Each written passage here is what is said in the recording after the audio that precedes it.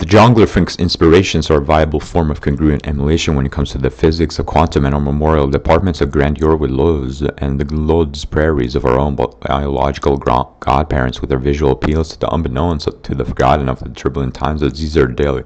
constructive criticism of the elevated variety with certain social liberal infused with Denghism and Trotskyism, albeit with, a, with the utmost careless ca- calculation, which may or not been proven by science yet never has been proved as pseudoscientific by yours truly, Michael Mikhail Rostosky. We ought to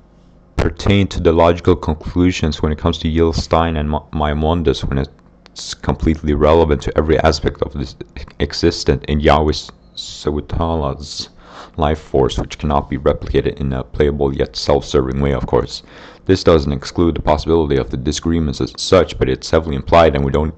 want to get a lot of displeased looks on ourselves when we are protectors of the economic stability of the Baluchi people. Not living in Gwadar, I see you ask, however, when will the dilemma of Slovakia begin to talk about the matter of the masjid in the pest part of Budapest? I don't have the answers to this. This it's more of a riddle with lots and lots of truth sprinkled in, like a flimsy carrot cake, which we throw up right in the air like it's 1855. This is an uprooted non-problem for us, but the likability of vice presidential candidate for us in terms of Kellogg's of Belgian Luxembourg lunging at us like a bunch of hooligans that have never watched soccer and or football game in their entire lives